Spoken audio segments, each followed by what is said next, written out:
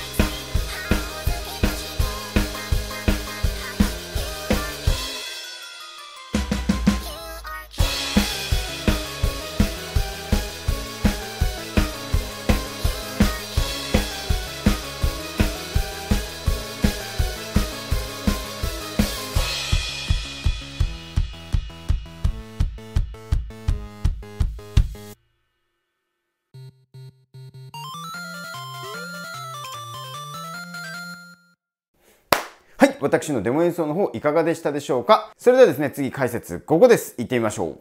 どうぞそれでは1つ目のポイントからやっていきたいなと思います。1つ目のポイントですね、この曲のイントロ、サビ、えー、最後、サビエンディングで使われる基本のリズムパターンになります。これやっていきましょう。ドンパン、ドンパンというやつです。えー、で、実際はここハイハットを開いた状態、この音でやりますけども、解説の時は閉じてやります。演奏の時は開いてやってみてください。えー、ここなんですけれども、右手四分音符、1、2、3、4ですね。で、それと全く同じタイミングで右足を踏みます。まずはこれをできるようにしてください。1、2、3、4、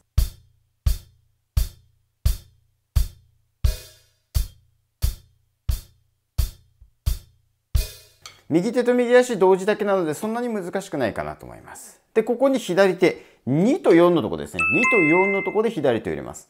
1、2、3、4、1、2、3、4、1、2、3、4。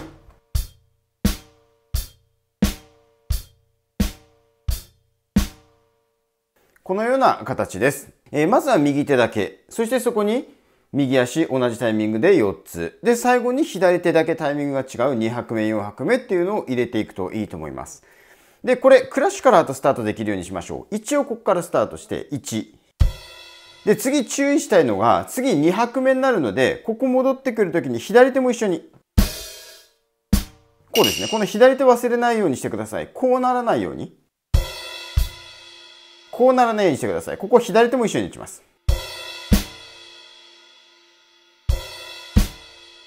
こうですね。で、そこからはさっきのやつを続けて、1、2、3、4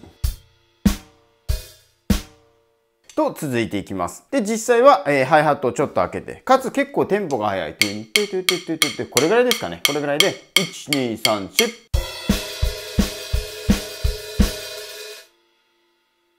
と進んでいくことになります。まずはゆっくり、えー、右手右足を合わせて、そこに2拍目4拍目左手を入れてで、できるようになったら少しずつテンポを上げていく。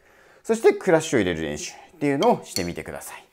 では次2個目のポイントです。2個目のポイントなんですけども、私ここ勝手に A と名付けちゃったんですけども、A でいいのかな ?A の後半の8小節で、えっとですね、ハイハットとバスドラムをずっと4つで、こう打っていくところがあるんですけども、4小節目ですね。4小節目の3、4拍目だけリズムが変わります。ダッタッタッタッタとなるので、その4小節目見ていきましょう。1、2拍目は右手右足同時です。こうですね。で、その後、ダッタッタ。まあ、ここも右手右足同時なんですけども、このリズムですね。リズム注意しましょう。リズムなんですけども、3、4拍目。えー、3拍目16分音符4つ、4拍目16分音符4つ。1、2、タカタカタカタカですね。1、2、3、4。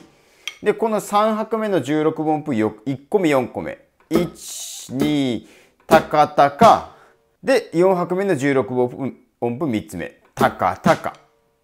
1、2、タカタカタカタカ。1、2、タカタカタカタカ。1、2、タカタカタカタカ。1、2、タカタカタカタカ。1、2、テケテケテケテケ。1、2、テケテケテケテケ。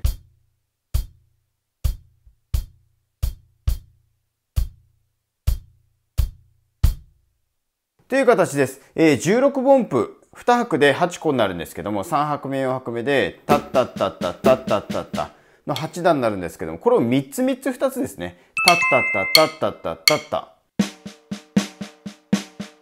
に分けてます。で、その3つ3つ2つのアクセントのところを、タッタッタッタッタッタッタッタと捉えると、このリズムになるわけです。で、この16分音符に限らず8分音符とかもそうなんですけども、3つ3つ2つっていう割り方よく出てきます。こんな感じのとか、本当によく出てくるので、この3つ3つ2つっていう割り方はしっかり覚えておくといいです。で、3つ3つ2つでここをダッツッツッダッツッツッダッツ。ただ実際の曲だと結構速くてダッダッダッダッダッ。あんまりその3つ3つ2つを感じてる余裕がないので、まあ、曲に合わせて演奏すればいいかなとは思います。ただ、この3つ3つ2つっていう割り方非常に大切になるので、このフレーズを通してまずゆっくりタッタッタッタッタッタッタッタッタッタッタッタッタッタッタッタッタッ123-123-123-123-12この感覚ですね、体に身につけて、しまうことをお勧めします。このフレーズ通してぜひ、この3つ3つ2つやってみてください。では3つ目のポイントいきます。3つ目のポイント、そこのうんとセクションの一番最後ですね、シンバルを3回続けて、ペッペッペッと止めたい。で、ここの、えー、音符の上についている小さい点なんですけど、これスタッカートと呼ばれるもので、音を短く切ってくださいという意味になります。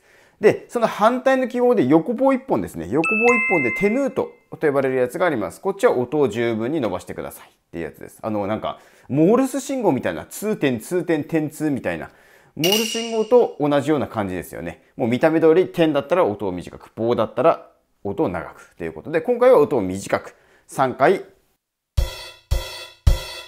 えー、シンバルを止めます。えー、スタッカートの意味ですね。まずここ音を短く切るっていうことを理解してください。で、シンバルなんですけども、その前の1小節が休符なので、休みなので、その後、あその時にもう左手を持っていってしまって、で、打ったら止める。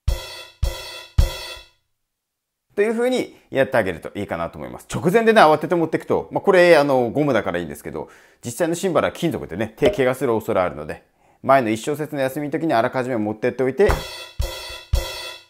こういう風にシンバル3回止めてみてください。では次、4つ目のポイントいきたいなと思います。4つ目のポイントですね、その後、まあ、私ここ勝手に B と名付けちゃったんですけど、もしかしたらサビかもしれないですし。ちょっとわかんないんですけども、えっ、ー、と、B の部分で出てくる、パッパッパッパッパッっていうリズム、えー、太鼓の組み合わせです。で、ここのリズムなんですけど、今解説していて思いましたね。えー、ポイント2と全く同じじゃないですかっていうことで、えー、ポイント2ができれば大丈夫です。ポイント2、ハイハットと、うん、とバスドラムで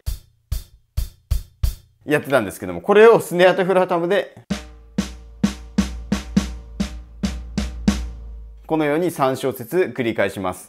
まあ、繰り返しになるっていうことですね。ダッタッタッタッタッタッタッタッタッタなので、まあ、しっかり繰り返せるようにメトロノームとかをつけながら、1、2、3、4、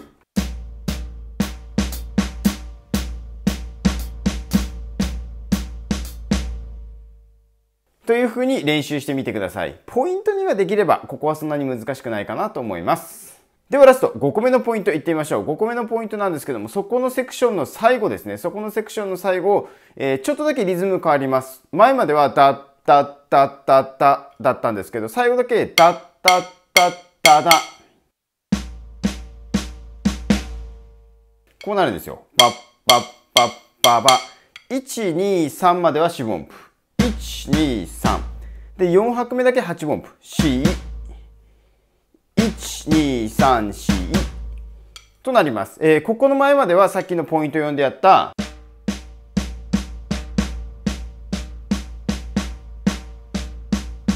これをやってきて4小節目だけ変わります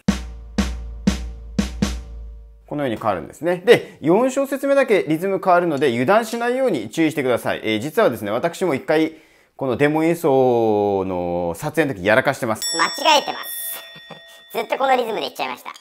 あの、4小節目だけリズムが変わるので、そこは注意して、4小節目リズム変わるんだっていうことをこう注意しながら演奏してもらえればなと思います。そこは注意できればそんなに難しくないかなと思いますので、えー、リズム確認してやってみてください。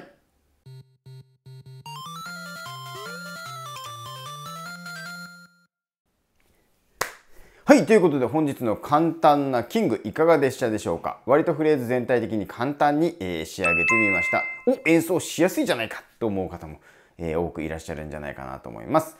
そうですね、まあスピード、テンポがちょっと速いっていうこと、そこを気をつけてもらいつつ、うんと、ポイントのいくつだっけな ?2、ポイントの24で解説している、うんと、3つ、3つ、2つの割り方ですね。タッツツ、タッツツ、タッツ、タッツツ、タッツツ、タッツっていう割り方。これは16分音符に限らず8分音符とか、あと4分音符とかでも、えー、使いますので、ぜひこの割り方をこの曲を通してしっかり身につけてもらえればなと思います。他の曲でも間違いなく役に立ちます。フレーズがシンプルなので、えー、こう始めたばかりの方も楽しめるようなアレンジになっていたんじゃないかなと思います。ぜひですね、こう楽しみながら演奏してみてください。ということで、本日の簡単なキング、ここまでになっております。えー、次なんですけれども、次が、えー、サイレントマジョリティですね。サイレントマジョリティをアレンジした簡単なサイレントマジョリティを制作していく予定でございます。順に制作してまいりますので、えー、リクエストくださった皆様、少々お待ちいただければなと思います。よろしくお願いいたします。えー、この動画に対する感想ですね、なんかここ分かりにくいとか、ここ解説してほしかったとか、ありましたらぜひ、えー、コメントの方、どしどしお寄せください。もちろんこの動画面白ければ、チャンネル登録、高評価の方もお待ちしておりますので、ぜひよろしくお願いいたします。それではまた次の動画でお会いいたしましょう。バイバイ